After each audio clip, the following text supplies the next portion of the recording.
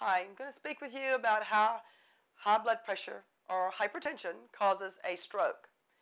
When the arterial system is compromised, perhaps from a blood clot or narrowing arteries, a blockage occurs and resulting in a cardiovascular vascular accident, which is a CVA. It's also known as a stroke by many of the lay. Many parts of the body, and the mind, and the emotions suffer from a CVA because it's due to uh, an increased blood pressure.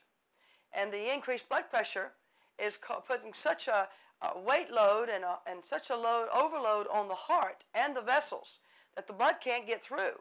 And so if the blood can't get through or if there's a blood clot, many times coming from uh, a previous accident, uh, a previous uh, surgical wound or from a leg wound or a broken leg, many times you can get a blood clot that way. So blood clots can cause strokes or narrowing of the arteries can cause strokes. But the usual is that high blood pressure not being monitored over a specific amount of time long term can cause a CVA or cardiovascular accident known as a stroke.